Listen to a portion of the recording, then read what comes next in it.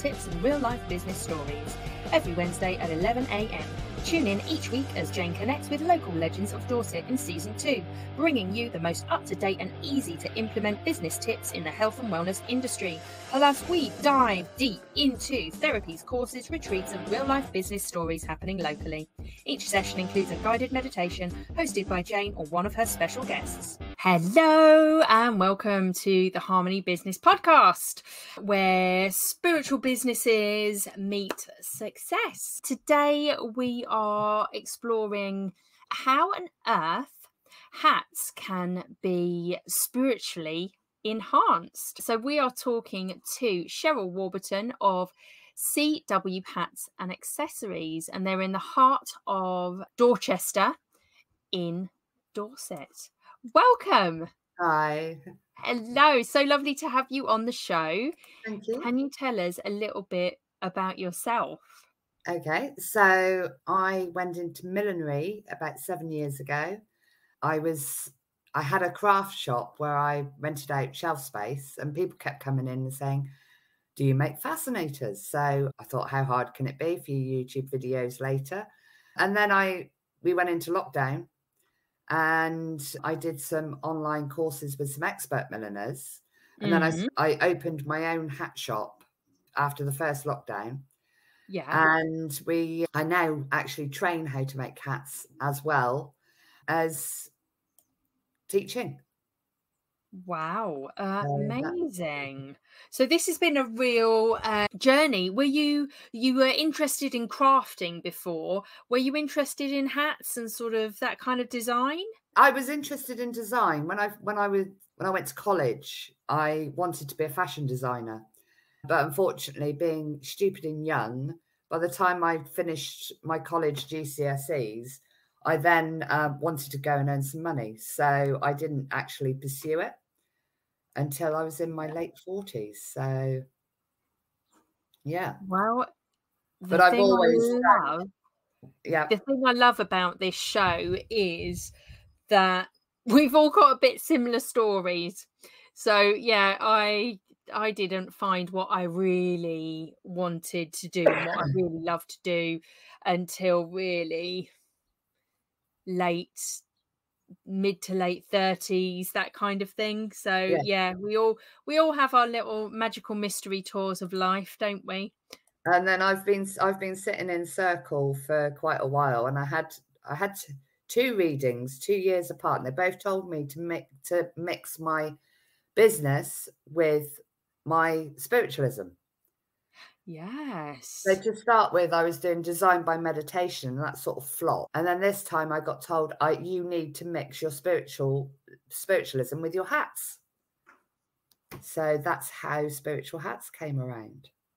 Amazing. So, and how does it work? Because I have bought candles or jewelry mm-hmm. with infused with Reiki energy and things yeah. like that. These are kind of spiritual pieces of artwork where the artist goes into meditation and and then you know channels her art. So how do you how do you do it? So basically what i do is i get crystals and i use spiritual symbols and things like that i suppose so spiritual symbols onto hats. And of course the crystals have healing powers yes so, I mean, it's not tried and tested that, you know, having a spiritual hat will give you healing. But, you know, if you put it in the moonlight, obviously it charges the crystals. So, in theory, it should yeah. do. But they look very decorative. I also use peacock feathers and tarot cards and and things like that. I saw like one of your hats with the tarot cards on the side. I thought yeah. that was so cool. Yeah. So so yeah. So and so do how... you do you, so do you sit in circle when the ideas come to you or is it a practice you do on your own within your business or a little bit both? It's a practice i do on my own in, within my business. I do sit in circle. I'm just about to take my reiki one yeah. uh, this month so and i'm developing my clairvoyant side. I'm i can do call it mediumship anyway you know psychic I Yeah. can do standing on my head. Um, but I wanted to get into the clairvoyant side of things as well Yeah. and the healing side of things. So, so yeah, this and I did amazing. I did a course with our local church on crystals and how to cleanse yourself with crystals and things like that. So, Yeah. and then on all of my hats, I put what the healing properties are of each of the crystals. So, Fantastic. I was going to say the crystals that you use, do they do they get channeled to you? Are you told to use specific ones on a hat and how to sew them on and what patterns to use? How does it work? I tend to use my intuition and I look at the colours and the colour of the hats and you know which which colours go Yes. best with each hat. I mean, I've got a black one with I don't know if you've seen it with purple rose and and feathers, and it's got amethyst all the way around the headband. Oh, that's going to be powerful. And I'm thinking as well, because they're hats, you're right on that crown chakra and near the third eye as well, aren't Yes. you? Yeah, So, I mean, that's going to be really powerful. hopefully. Yes. And a lot of your hats, they when people buy them, where are they where are they taking them? Are they taking them to the races, to weddings, or is it a bit of a combination? I don't think they take them to the races or weddings as such yet, but I can obviously make hats for races and for weddings with crystals on if requested. Mm. But I think most of them buy them for their own personal use. Maybe they go to an event like Bridport Hat Festival. Or didn't even know there was one. Yeah, yeah, there's Oh, Hat Festival. Unfortunately, I'm not attending this year because I'm in Verwood selling my hats at an event over there at Memorial Hall. And that's actually that's the first Saturday of September. But yeah, they have a big hat competition and people make or decorate their own hats and and all sorts at Bridport Hat Festival. It's oh, really that's good. fabulous. Yeah. Um, So where tell us a little bit more about where people can find you um and can they can they kind of co-create with you and get a a unique hat for Yes. them and and their needs yeah their energy Yeah, definitely. I mean, I make bespoke hats. We can look at the style, yeah, the shape of the person's face, the style of the hat. Uh, we can add whatever crystals that they resonate with. And I'm based in Dorchester. I'm online. I can have phone calls from anybody. That's not a problem. You can call me up and say, right, can I book an appointment to come and see you? And uh, I've got a little consultation room where we can sit down and decide on what sort of hat they like. oh that sounds fab Yeah.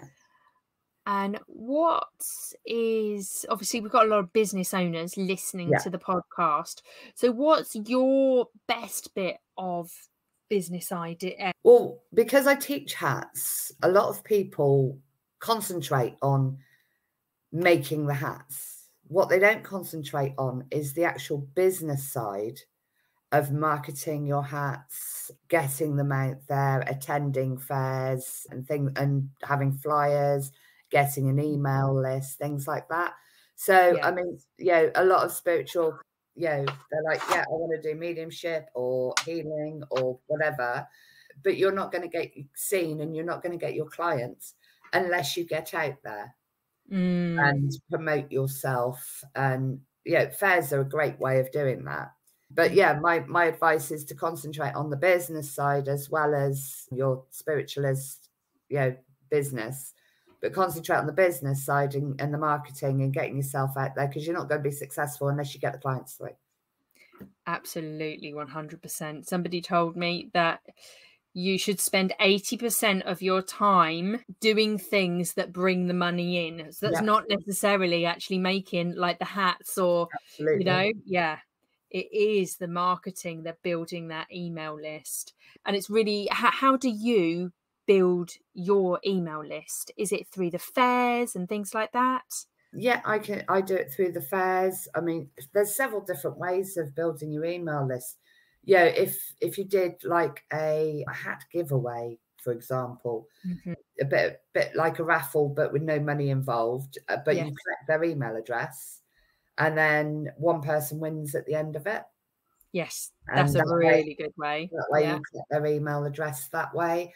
I also do markets as well. So, you know, I've had flyers that I hand out on markets because I sell everyday hats as well. So, yeah, I ha- I do markets as well. And yeah, the I mean, the best way is yeah, doing something at a spiritual fair and collecting people's email addresses and getting them following you on Facebook. hmm Yes, definitely. Having that community behind you online and offline, I think is Yeah. really important now because obviously through the kind of lockdown periods, everybody went online, but I found, especially the last 12 months, people don't want to be stuck online. They want to be in front of you. They want to be at a workshop. They want to be at an event, don't they? So it's really important to be collecting those email addresses at your events. yeah, because because then you use your email addresses to say, right, I'm going to be here. Yeah. on such a date. Come and join me. Come and have a look. We've got this, that, and everything else going on as well. And then that way, people will come and see you as well as, you know, it's a way of reaching them to Yeah. tell you so you can tell them where you are and what you're doing. Yeah, absolutely. People, people set people buy from people. Yes. You know, if you don't communicate with your audience, then you're not going to end up keeping them. Yeah. And it's good to get your voiceover, your opinions, and then, yeah, they really know who you are, don't they? Absolutely. Well, yeah. that's what social media is great for because you can put personal posts up there so people get to know, like, and trust you, and then they end up buying from you. Yay! Fantastic. if if I was to find you on social media and I was like, oh, I fancy one of these hats, what would it look like? What would that client journey look like? So you would phone me up, book an appointment.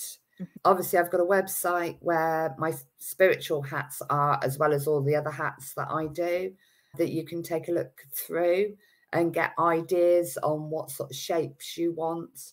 Then you come in, we would try different hats on and see what suits you. As I said, obviously, I look at the shape of your face because I get an awful lot of people coming up and going, Yeah, but hats don't suit me because maybe they've got a square jaw.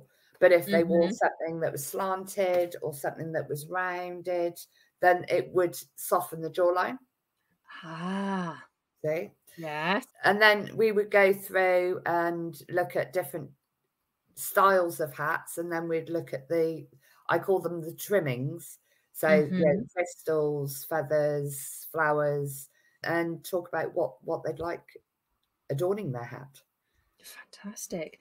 And when you've used oracle cards or tarot cards on the hat, Mhm. I just came to mind like what happens if it rains? Are they have they got like a plastic coating on them or anything or They haven't, no. Unfortunately, you know, if it rains, if it rains, then the cards are paper, they are going to get wet. So best not to wear out or take an umbrella. yes. And crystals it does not matter. And Mm, can no. you uh, Unless um, there's salt. Oh yes. I've got this like sacred geometry. Yeah. So can you could do you sew things like that? Those kinds of do, yeah. Yeah. on hats. Yeah. Yes. I That can sew sense. anything you want on a hat. That'd be so cool. Fantastic. Do you have any other offers or top tips for our audience? Just keep with your spiritualism and trust your intuition. Absolutely. That's how I work, you know, and always be open to to opportunities. And go and test them out. And if they don't work, it's a learning experience. If they do work, great, keep doing it. Perfect. Yeah, exactly. I think when you start bringing spirit into your business and that having that conversation on, you know, what's what's my next avenue? What's the best plan for me, for the business, for the client? You can just some magical things start to happen, don't they? They when you yeah. bring spirituality into I mean, I, the I can, I can I can give you an example. I, I thought, right, I joined a load of spiritual sites, Mm-hmm. advertising sites, and things like that, and I posted all my hats on the site with the link. And next minute, I've got a lady contacting me. Do you want to do this spiritualist fair? You know, I mean, it was an opportunity. So I thought, yeah, let's go and do it and see how we go. The other thing I'm trying to do is get on Glastonbury Market. Oh, yeah, that would be very good. It would be very good, but there's a very long waiting list. Yeah. And as you know, Glastonbury Fair's on at the moment, so everything seems to have stopped with regards to communication. So uh-huh. still waiting for them to to come back to me. But uh, something that might be good as well. We, we could be getting your hats into various shops absolutely, in Glastonbury. Yeah. Yeah. You've really got to we've got to think outside the box a little bit, don't we, with Yeah, our do. business. Yeah. Um I've been doing like a free journey recently called the Sacred Rituals Journey. yeah, and obviously I've advertised it myself. I've used my my various groups and things like that. But then I also reached out to about uh, five or six different people to ask them to share. Um, Yeah. And it's about that community, isn't it? And and kind of building out from that and building relationships with other people. yeah. And you not just that, your your profile page. If you ask people to share something that you're doing on your profile page, that's massive. Yeah. Um, most people have got 100, maybe 200 friends on their Facebook. And you think about how many friends they've all got, Mm, you know, Yeah. so that's that that goes huge.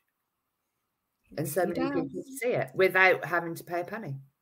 Yes.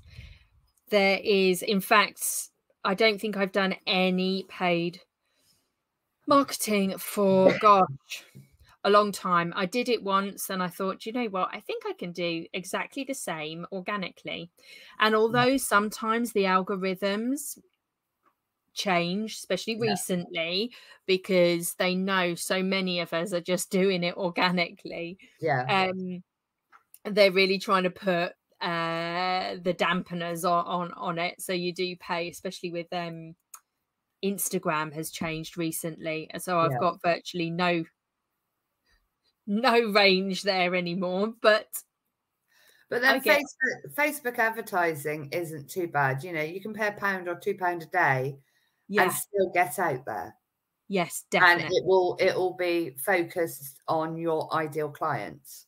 yeah because of the way the algorithm is set up you pick what what hobbies people have and things like that it definitely definitely does work and even if you only do that for a week if you get you know 20 30 people on your email list bonus it's worth it they're all your it? ideal client yeah definitely. Yeah.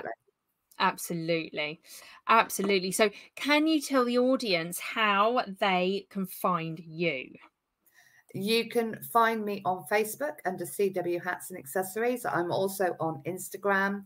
You can also, I have a website. Can we put the um, website link up? Yeah, everything will be above below.